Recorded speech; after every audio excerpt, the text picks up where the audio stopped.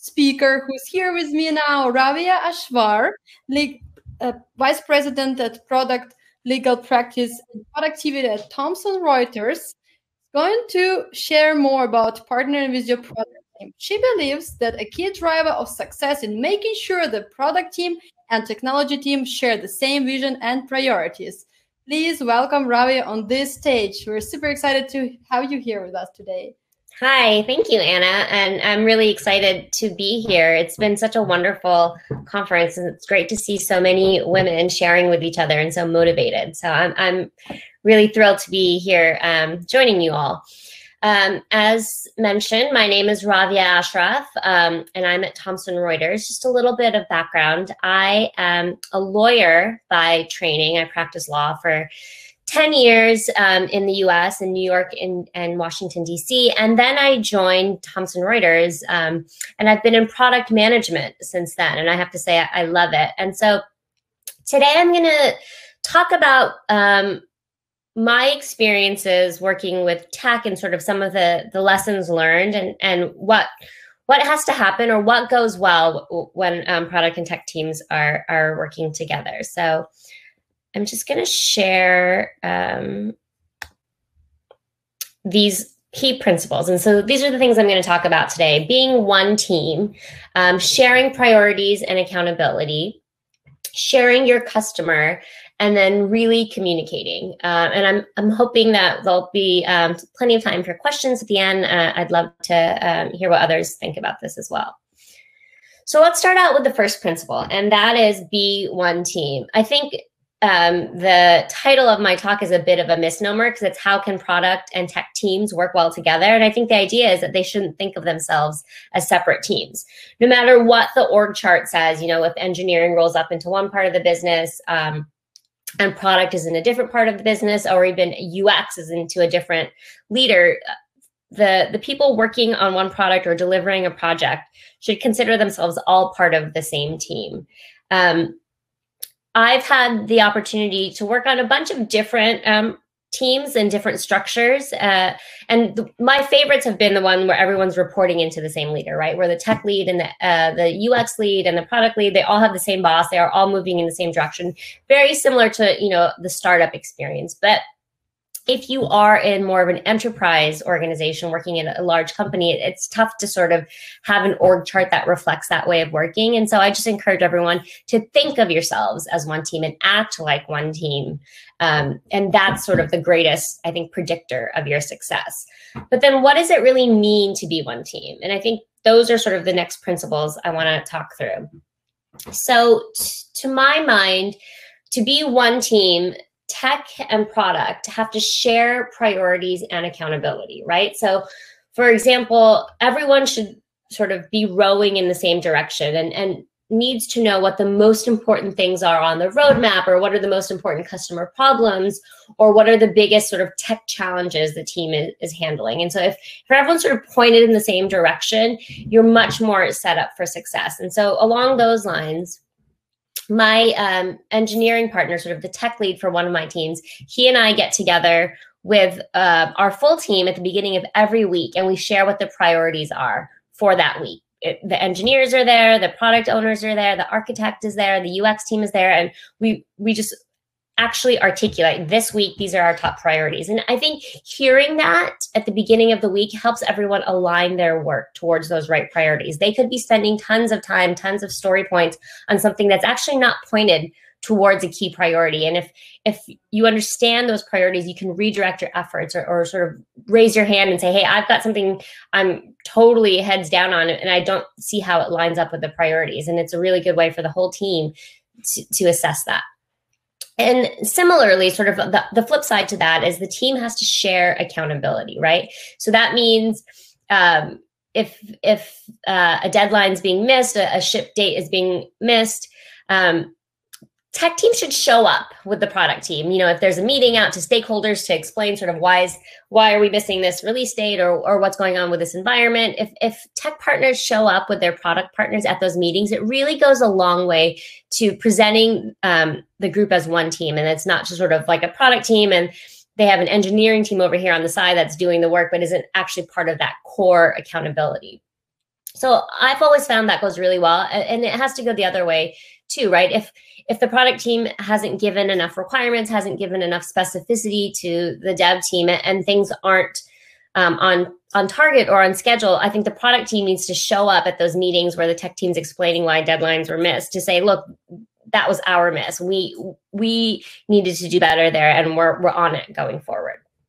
So, in addition to that, one thing that I've found hugely helpful um, in successful teams is if the technology team and, and the product managers share a customer. And what I mean by that is tech should not be behind a wall and not get access to customers. And if that's sort of the experience you have, or that's sort of the way your organization is structured, you should really raise your hand and ask to learn more about the customer. I fully believe that any engineer or developer who's maybe working on an API or setting up an environment or, or pulling together the architecture for, for a build should be able to articulate how that's going to impact the customer's experience, right?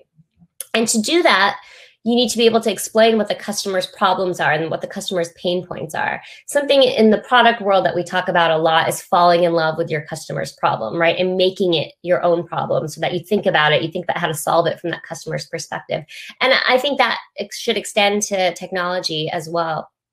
One thing that we've done at TR uh, that I've seen pay great dividends is that I invite um, engineers, dev leads, architects to meetings with customers so that they can hear it firsthand. It, it's all well and good to get a summary. You know, if you share like a market research report or customer research report with with your developers, it, it's it's helpful. They'll understand some of the context, but there, nothing beats being in the room with the customer and hearing them talk about their challenge and what they need solved. It really can animate and motivate all the work people are, are doing after after that. In addition to that, uh, it, it's good to hear customer feedback as well, right? That tends to go so beyond the discovery phase of figuring out what the customer's challenges are. Once the product's live or you're doing, you know, you're revamping it or, or something, it's really good to hear that real time feedback that sales teams or account teams are hearing from the customer. So I always encourage technology people to join those sorts of meetings. And if you're not doing that, raise your hand, ask for that. Uh, ask, I think it'll just make everyone so much better at their job and really be able then again to share those priorities if they understand the, the customer's problems that the product is meant to solve. And then finally, sort of the next key um, principle for success is to communicate. I mean, I know that one's obvious. We hear that all the time, but I just want to dig into a little bit about what that means. So, so for example, one thing I learned from um, my dev team that I work with is that they need hours and hours of uninterrupted time if they're going to complete a task, right? And so the way that product people work or managers work is that we tend to be in meetings after meetings after meetings. And so we schedule our days that way. But our, our dev team is very clear. Like they can't, if you go to a, a 30 minute meeting in the middle of the day, it sort of breaks up your whole flow and the whole task you'd set up to challenge gets interrupted. And so if that's the way you work, communicate that. Our team communicated it to us, and so we've set up certain hours, uh, you know, Tuesday or Wednesday mornings where we'll ha- we can have meetings where we invite the developers, or you know, maybe on Thursday evenings there's there's a block of time where we can invite developers. But we now know not to interrupt the middle of their day and their flow with the meeting. Um, also, I, I, think this goes without saying, but if something's not going right, communicate that early to your your product partners. Let them know, give them a heads up, um, and come with solutions. Right. So if you think something's not going well, product team would totally appreciate it if you say, "Hey, this is sort of not. This is going a little bit off the rails, or we see some risk here." and here's what we think we should do to mitigate it or here's what we need to be able to mitigate it so those sorts of things if you put them on the table early i think that only makes the team better and more equipped to deal with challenges and then uh, sort of another thing that's good practice is to do retros right after the fact communicate about what went well what didn't go well what should we keep doing what do we need to change where do we need more impact or sorry um, process how are we uh, delivering all of those sorts of things make the team continually get better and better. And then uh, another piece of communicating, I think, is also being comfortable challenging and pushing back right? If something's happening some the product team has maybe put something together and there aren't enough requirements or you don't understand how it leads to the vision or maybe it's not technically feasible or is not um, funded properly raise your hand and, and push back on that. Challenge the team. I think that's always helpful and it leads to better outcomes. And when you do see yourself as one team it's much easier within that environment to challenge rather than feeling like you're sitting on the outside criticizing another team. You know, I've I have seven products now that um, roll up into my team. So I've had lots of different experiences working with um, different types of tech teams, different types of product teams. And I will say, a- above all, to me, the most important thing is that everyone is on the same page about priority. So I, I'll just like hit that one again.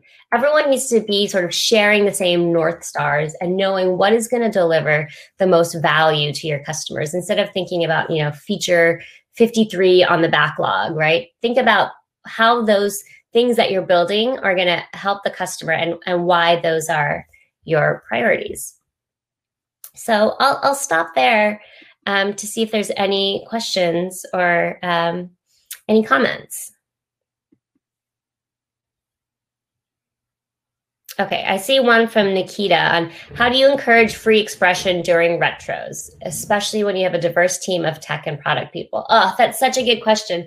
We often run into an issue like that where we'll have a big retro and then no one will talk, right? You're like, hey guys, let's get it all out there. Let's figure out what we need to do. And if, if that's what's happening, I think there's a couple of, of, of tools or solutions. One is that you can have sort of one-on-one conversations ahead of time before the retro. So if you think there's some people who are sort of shy or, or hesitant to speak, I think that's a good way to sort of get them to share their concerns one-on-one and then either represent those concerns at the retro or encourage them to share those because you when you know that that they have a concern that they wanted to raise.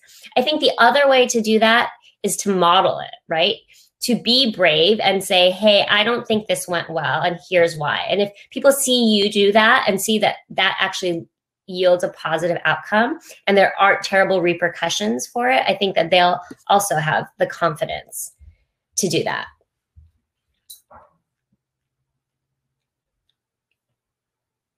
Are there any other questions? What has been the most complex situation that you have lived with your team? How have you faced it? Wow. So there's probably a, a number of them. I always think a really complex situation is in the in the pre-launch period making that go no go decision right like because i always believe that you should launch a product. You know, there's that old saying that if you're not embarrassed of your MVP, you've launched too late, right? Like you need to get your product out there and start getting feedback and get it in customers' hands. And I think it that's always a complex situation of figuring out like, are we there? Do we have an MVP? Have we delivered enough value that we can get this out there and start getting customer feedback and start testing what we've built? Um, without actually just put shipping something that's not ready, not ready to go live. And so that takes everyone's input, right? You have to have the UX team saying, look, we think these are the three minimum things that we have to have in the product before we launch. And you have to have the tech team say, these are the sort of functional and non-functional things we need before we can be ready to launch. And then you have to have the product team saying, these are the sort of use cases or user stories that we need um, people we need to be able to deliver before we can launch. And that is always a bit of a dance, right? Because you're nervous, but you still want to launch a product. I mean, I guess the other really complex situation is when you don't have enough funding to do what you want to do. But I think we all learn to make do and figure out what you have to shave off of your roadmap and out of your backlog to do the best um, with what you've got. Um, okay, I think that's really on all of it for me. Um, if there aren't other questions.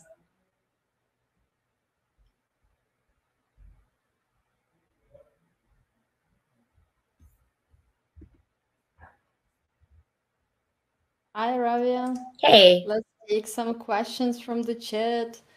Okay. Are there what more? kind of methodologies, techniques are there? Okay. Yeah, there's a ton more. Coming. Okay. What kind of methodologies and techniques? Sorry. So, what kind of methodologies, techniques are you using to co create with a customer? Um, so my favorite one is to do a design session with a customer, right? Where first you do some interviews and you understand if the customer has a particular problem. So the products I build are in the legal space, right? So let, us say the issue is the customer say this part of of contracting or drafting a contract is very difficult, right? We're we're struggling with that. So you do some preliminary interviews to sort of understand or hear them describe that problem in their own words. And then the next thing I like to do, so you, then you take that back, you sketch that out, you're like, here's our understanding of your problem. And then you have a co design workshop with the partner, with the um, customer, where you say, let's look at your problem. Let's talk about what the main challenges are in this sort of design thinking. And then what could be an ideal outcome? You know, what would be the the end state that would work for everyone? And then you sort of prioritize within that to have the customer say, if you did this thing, this would help me the most or if you um, you know if we could have a better integration here that would make our, our life so much better. And so i think it's really you know getting out there and whiteboarding it with customers since the pandemic we've been using miro a lot to do it virtually with customers but it's really getting in the room with them and charting it out and talking about the biggest problems and the biggest impact from solving those problems. Like what problem could what could what should you prioritize in terms of solving have you had any failures? And what was the biggest lesson? Oh my god tons of failures. Um, and i think for me the biggest lesson especially like sort of growing up you know in school like i was always an a student always got good feedback. And i i thought that failure was not acceptable right? If you failed at something that was some sort of reflection on you or like a, a a weakness in you. And then you learn that you actually you just nobody is perfect. You have to fail at things. It's just the the laws of probability. Things are going to go wrong. And so that i think was my first big learning is getting comfortable or accepting the fact that i'm going to fail because that that what that didn't come natural to me and i don't know that it comes natural to anybody. And then the second one is all right so if i failed what do i do with this right? And i think that comes down to i have to learn something from this failure, right? Because if you're not learning from the failure, you're going to com- continually repeat that. And so that's sort of why retros are helpful with a group, but you should even do a retro with yourself. Like that meeting I had didn't go well. Why do I feel like it didn't go well? And think about it and sort of reflect on yourself. Like, what was I not prepared? Was the other side sort of, did they have different expectations? You just sort of really figure out, you know, with yourself what you could have, what you could do better or differently in, in that situation.